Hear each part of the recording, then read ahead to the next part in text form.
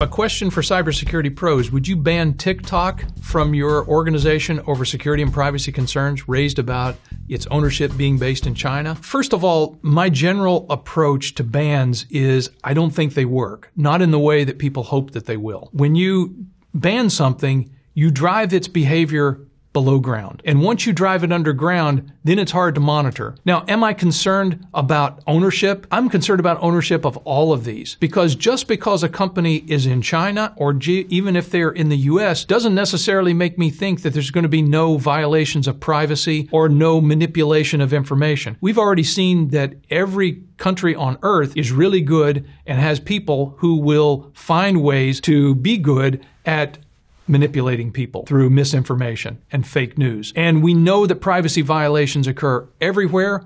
And we also know that privacy violations can occur even unintentionally. So there are concerns, certainly if a government is able to say, we are going to make you turn over those records to us. And now there's not independence from that service and the government. And that's a big concern. But that happens in a lot of cases.